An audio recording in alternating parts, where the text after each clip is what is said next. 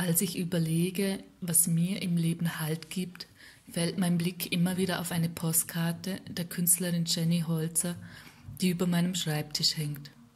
In großen goldenen Buchstaben heißt es dort Having two or three people in love with you is like money in the bank.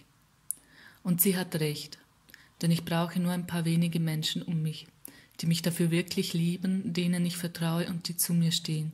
Sie geben mir Halt und das Gefühl von Sicherheit und Geborgenheit.